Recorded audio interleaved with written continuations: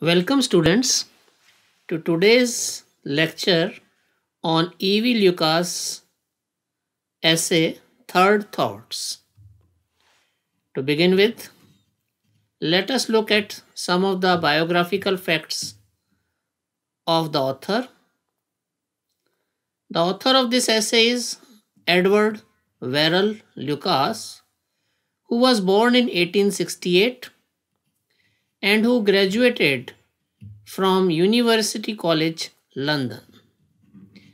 He adopted the profession of journalism after completing his education and with time he became assistant editor of a famous journal and magazine named Punch.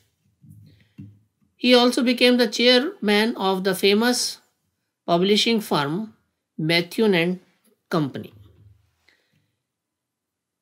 Lucas has written several works. He gained reputation as a humorist by composing skits that he wrote in collaboration with C.L. Graves.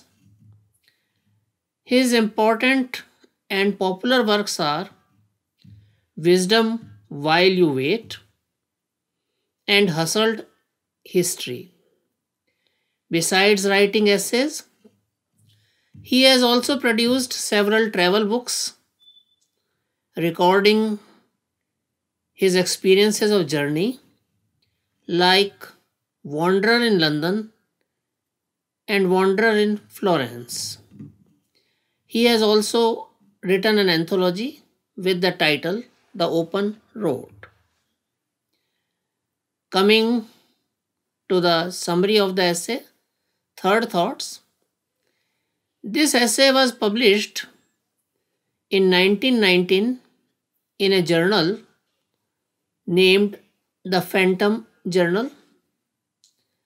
The narrator in this essay is a man who is a dealer in art business and is usually unfortunate in his business transactions because he buys things costly in the market and he sells them cheaply even if he succeeds in selling them and thus always earns loss.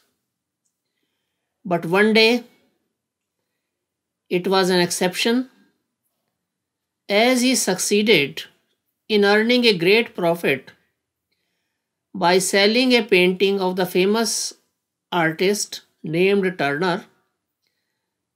He bought the painting of Turner quite cheap from a shopkeeper because shopkeeper was not sure whether this painting of Turner was a genuine one or a fake one.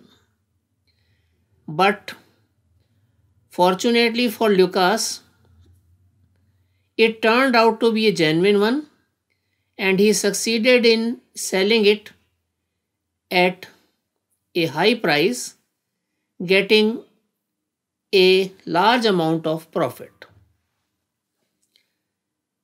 The main conflict in the essay was not the successful business transaction, but the bargain with the soul of the narrator that followed the successful business transaction. After getting the profit, narrator felt that dealer should also get some share of the profit because if dealer had not sold the picture to him then he would not have been able to get such a large amount of profit in this business. So narrator decides to share half the profit with this dealer. But then after some time narrator thinks that it would be foolish to distribute half the profit with the dealer and with that person who did not know his business as he could not distinguish between a genuine Turner painting and a fake one. So, if he will distribute his profit, it would be like rewarding his ineptitude and weakness in business. So, narrator gives up the idea of distributing half of the profit with the dealer and he decides to send only a gift of 10 pounds. But even after making this decision, narrator could not sleep at night and thought that if today he will send him reward out of his profit, then this dealer would expect similar rewards from others also. And when he will not get reward or gift from others, because narrator was sure that all the people will not be as supporting as he is by taking the decision to send him a reward of 10 pounds, the dealer will be disappointed and he will be depressed. And narrator did not want to torture and trouble that dealer who had helped him in getting profit in the art business for the first time in his life. So, next morning, while author was dressing, he again thought that why antagonize the goddess of business and wealth by distributing his profit and if goddess of business and wealth gets angry with him then he may not get any profit in any transaction in the whole of his life. So narrator again gives up the idea to send the reward of 10 pound and he takes the decision to send him the reward of 1 pound only because successful business they know how to control their feelings and they take their decisions wisely and rationally.